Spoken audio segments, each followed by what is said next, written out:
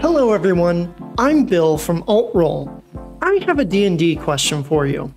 Do you like killing monsters? Well, of course you do. Combat is an essential part of the game. And within combat, you need to be able to do damage to your enemies. However, the rules of D&D state that before you're able to damage an enemy, you have to roll a dice to hit them, known as an attack roll.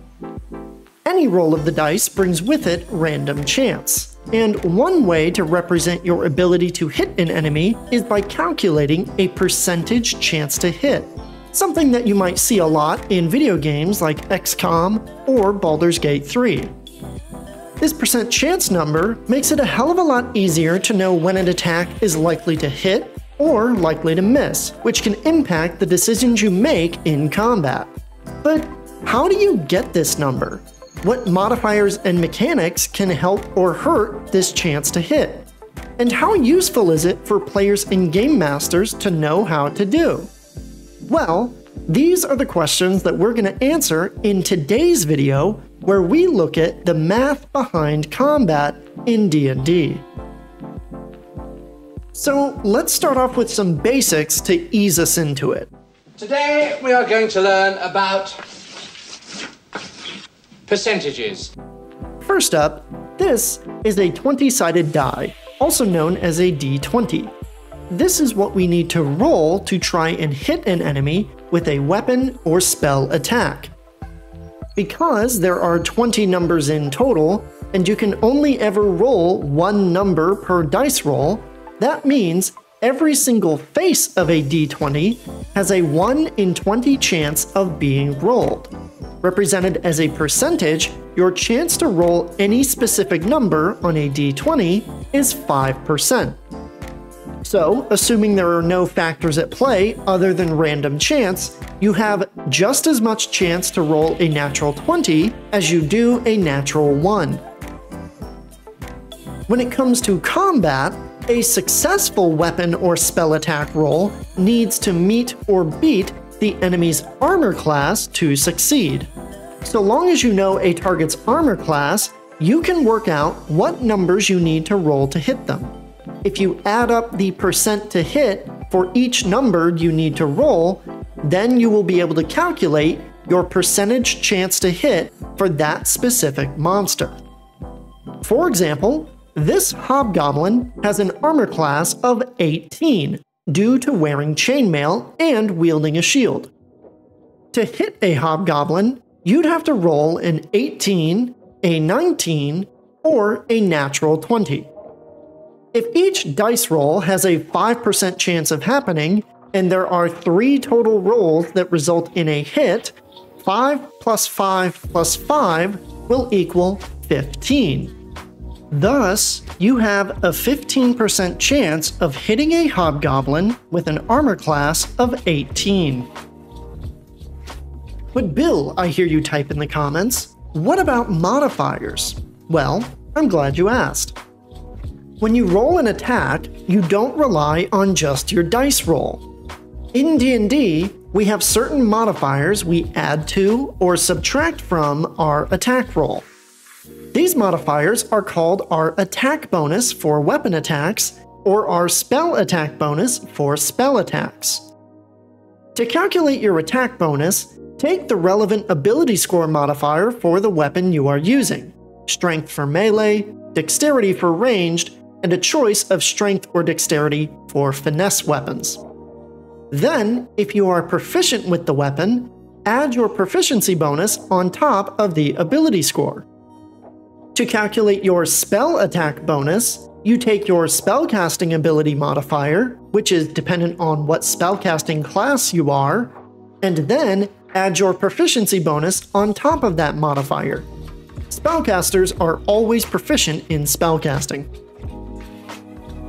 Once you have these modifiers calculated, you'll be adding them to your attack rolls to, hopefully, improve your odds of hitting the target. But how much do these modifiers help or hurt your chance to hit an enemy? The answer is actually quite a lot.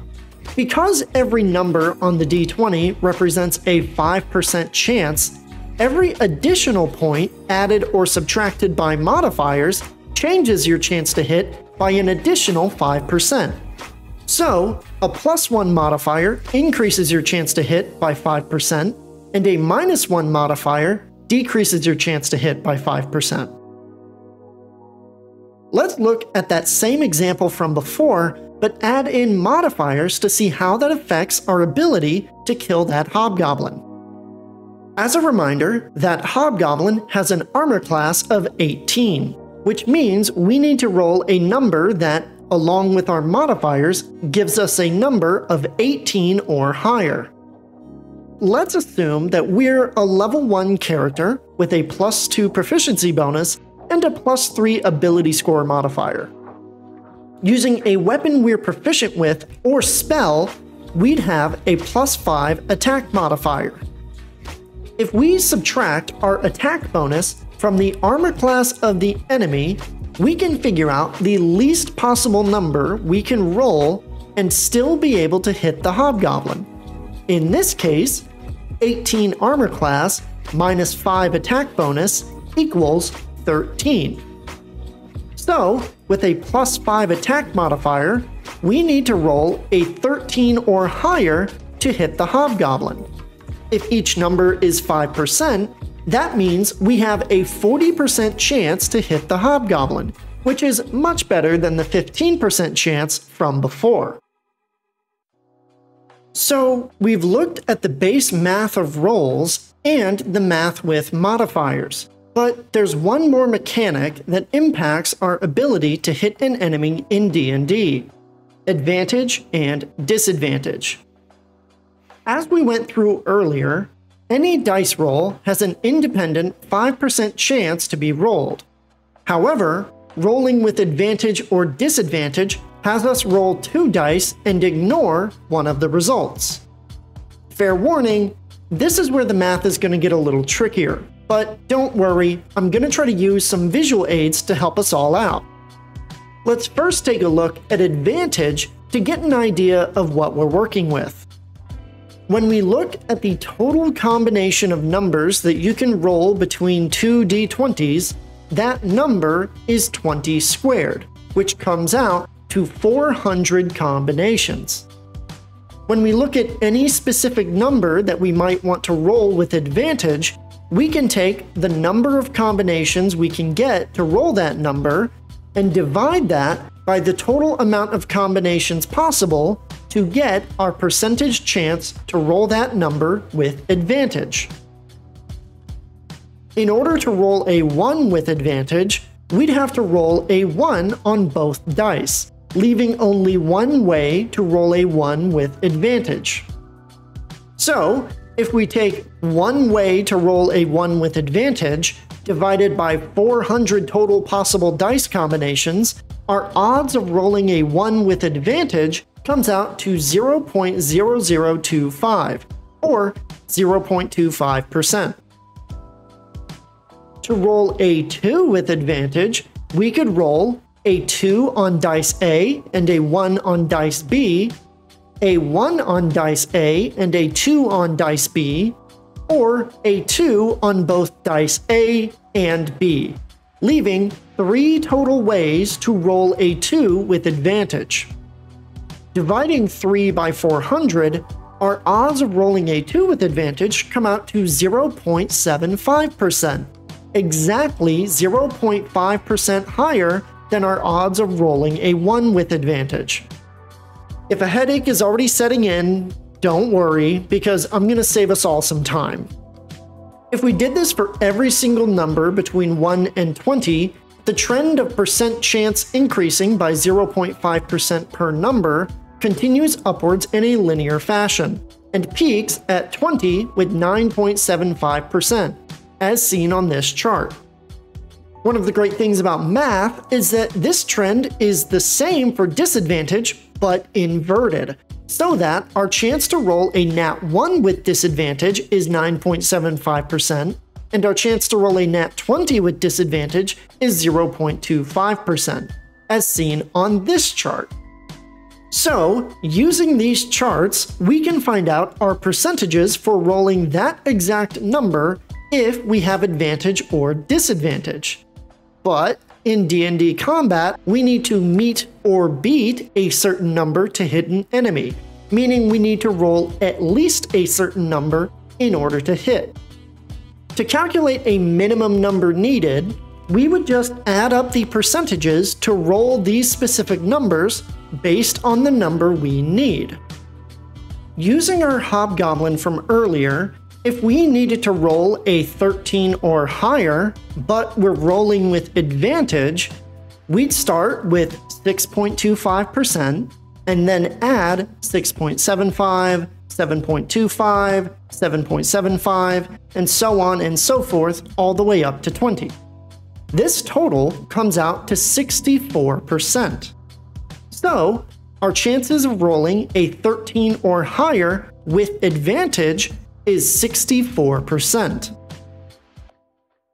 Now, I'm not going to make us go through every single number here manually.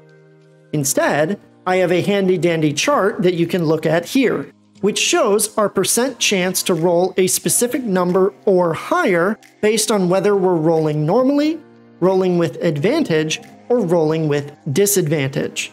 The top percentages show our chances with advantage, the middle percentages show our chances on a normal roll, and the lower percentages show our chances with disadvantage. What this all means is that the bonus or penalty we get from advantage and disadvantage respectively are going to be greater if our target number is between 8 and 14.